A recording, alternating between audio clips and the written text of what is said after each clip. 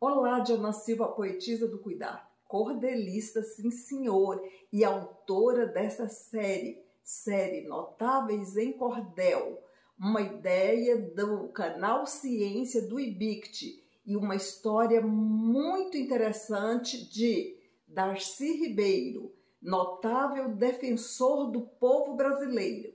Simbora ver, no, ver um pouco de Darcy nos versos de Cordel? Darcy queria o melhor, para o ensino do Brasil.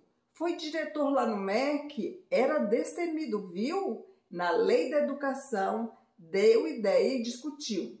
Defensor de várias causas, do índio à educação, muito mais ele ajudava em ter uma construção, número um na UNB, primeiro reitor então. Sempre foi um defensor deste povo brasileiro que virou nome de livro uma obra do guerreiro.